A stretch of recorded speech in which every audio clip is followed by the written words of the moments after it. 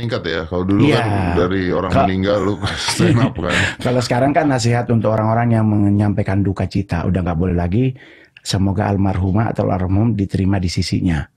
Habis. Karena itu udah dari abad ketiga sebelum masehi digunakan. Jadi gimana? Udah banyak tuh di sisinya. Oh,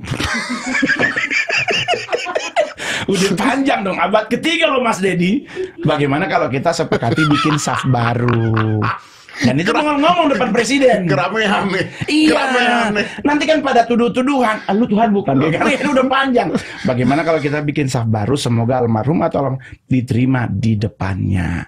Jadi kan tadi di sisi sekarang depan dong. Oh, iya bener. Iya enak di depan karena kalau pengen lihat kan tinggal Langsung nenggok. kelihatan. Kalau di sisi kanan kiri kita bingung lihat ini kan. Susah, iya. Karena berarti eh, Pak Pendeta Pariadi dan hamba-hamba Tuhan yang lain itu masih di sisi. Iya. Iya kan? Siapa tahu kita besok di depan lebih enak. Lebih enak. Iya, ya. bisa dada-dadain. Aduh,